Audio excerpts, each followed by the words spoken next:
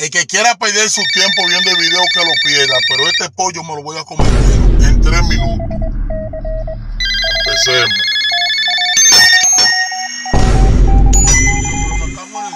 En el-